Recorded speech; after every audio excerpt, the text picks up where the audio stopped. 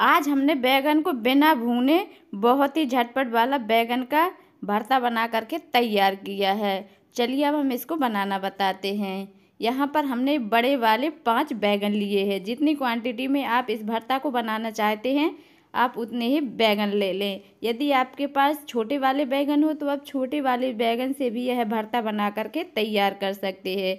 वो भी आज हम बिना भूने हुए और बिना छिलका उतारे हुए हम आज बहुत ही टेस्टी बैगन का भरता बना करके तैयार करेंगे। जब कभी आपको बैगन खाने का मन होता है और आपको झंझट लगती है कि बैगन को हम भूनेंगे और फिर बैगन को ठंडा करेंगे, फिर उसका छिलका उतारेंगे और इसके बाद में हम इसका भरता बनाएँगे। नहीं, आज इसमें आप कुछ भी नहीं करना है। फिर भी आपका जो बैगन का भरता है, बहुत ही टेस्टी बन करके तैयार होगा। सबसे पहले जो हमने बैगन लिए थे, बैगन को हमने तीन चार बार अच्छे से साफ़ पानी से धो लिया था और जो उसके डंठल थे, डंठल भी हमने कट कर लिए हैं और इस तरीके से हम कच्चे बैगन का ही छिलका उतार देंगे। जब आप इस तरीके से बैगन का भरता बनाएँगे तो यकीन मानिए दोस्तों इतना टेस्टी भरता बनेगा, वो भी बहुत ही झटपट बन करके तैयार होगा। ना तो आपको कभी झंझट लगेगी और बिना झंझट के ही आपका जो बैगन का भरता है, बहुत ही टेस्टी बन करके तैयार हो जाता है।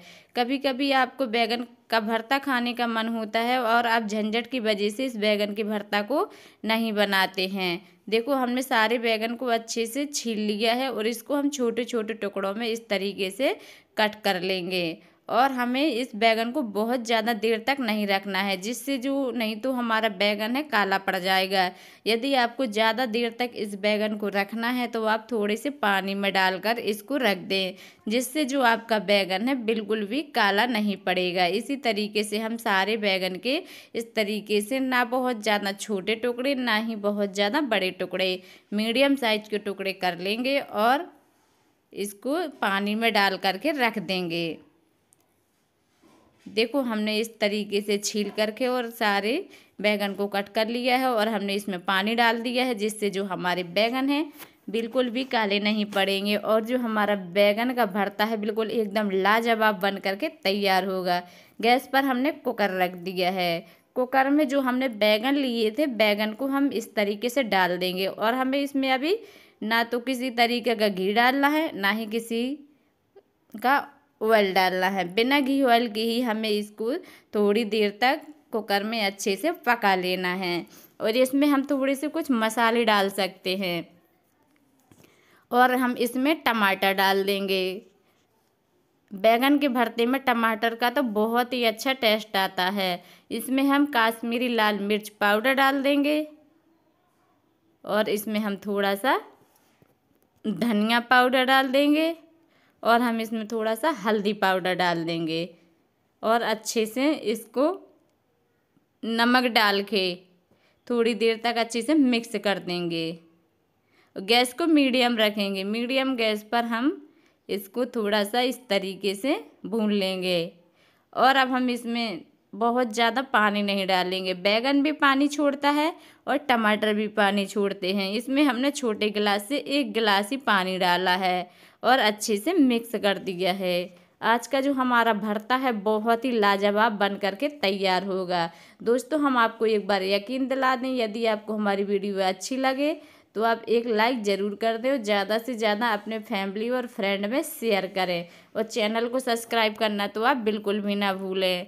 कुकर का हमने ढक्कन लगा दिया था और दो हमने सीटी आने दी हैं, क्योंकि जो हमारा बैगन है बहुत ही जल्दी पक कर के तैयार हो जाता है। देखो जो हमारा बैगन है कितने अच्छे से मैश हो चुका है। जो थोड़ा खड़ा खड़ा सा दिख रहा है, उसको हम चम्मच से चला देंगे। चम्मच से चलाने से जो हमारा बैगन है, वो अच्छे से बिल्कुल मैश हो जाएगा। दोबारा से हमने गैस पर एक कढ़ाई रख दी है। थोड़ा सा हमने सरसों का ऑयल गरम कर लिया है, उसमें हमने एक चम्मच भर के साबुत धनिया डाल दिया। धनिया का इसमें बहुत ही अच्छा टेस्ट आता है और एक चम्मच भर के हमने जीरा डाल दिया है। जीरा का भी इसमें बहुत अच्छा टेस्ट आता है और दो तीन हमने मीडियम साइज़ की प्याज को छोटे छोटे टुकड़ों में कट कर लिया था, उसको भी हम इसमें डाल देंगे और प्याज को हम थोड़ा सा सॉफ्ट करेंगे। प्याज में हमें बहुत ज़्यादा कोई कलर नहीं लाना है थोड़ा सा ही सॉफ्ट कर लेना है। देखो हमारी प्याज सॉफ्ट हो चुकी है, अब हम इसमें थोड़ा सा लाल मिर्च पाउडर डाल देंगे। तीखा आप अपने टेस्ट के अकॉर्डिंग कम या ज़्यादा कर सकते हैं। और हम इसमें एक दो चम्मच भर के अच्छे से धनिया डाल देंगे। धनिया इसमें बहुत ही अच्छी लगती है। चाहे, थोड़ी सी हमने इसमें साबुत धनिया भी डाल दी है और दो चम्मच हमने इसमें धनिया पाउडर भी डाल दिया है। और हमने यहाँ पर आधी कटोरी मटर ले लिया है। हमारा फ्रेश मटर है। यदि आपके पास फ्रेजिंग मटर हो तो आप फ्रेजिंग मटर भी डाल सकते हैं। और इसी ऑयल में हम मटर को भी पका लेंगे और हमने जो एक टमाटर बचा करके रखा था, उस टमाटर को भी इसमें डाल दिया है और थोड़ा सा हम इसमें नमक डाल देंगे। और अच्छे से मटर को पकने देंगे। जब हमारा मटर अच्छे से पक जाएगा तो जो हमने कुकर में बॉईल करके बैगन, टमाटर को रखा था, उसको हम इसमें डाल देंगे। देखो, ना तो इसमें कोई भूनने की झंझट है, ना ही इसमें ठंडा करके छिलका उतारने की झंझट है। आज हमारा बहुत ही टेस्टी बैगन का भरता बन करके तैयार होगा। खाने में बहुत टेस्टी लगेगा, ना तो इसमें कोई झंझट है।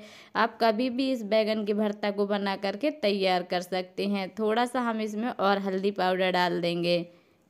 और अच्छे से मिक्स कर देंगे। यकीन मानिए दोस्तों, बहुत ही अच्छा आज का यह है हमारा बैगन का भरता बन करके तैयार हो जाएगा। थोड़ा सा हमने इसमें गरम मसाला डाल दिया है। कोई सा भी आप इसमें गरम मसाला डाल सकते हैं।